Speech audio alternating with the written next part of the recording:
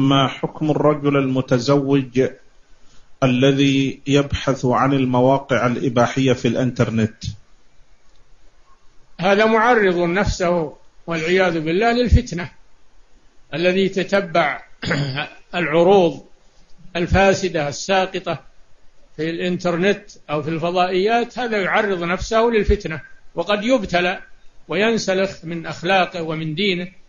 فعلى المسلم أنه يتجنب هذه الأشياء ويبتعد عنها لأنها دعوة إلى الفتنة وإلى الشر.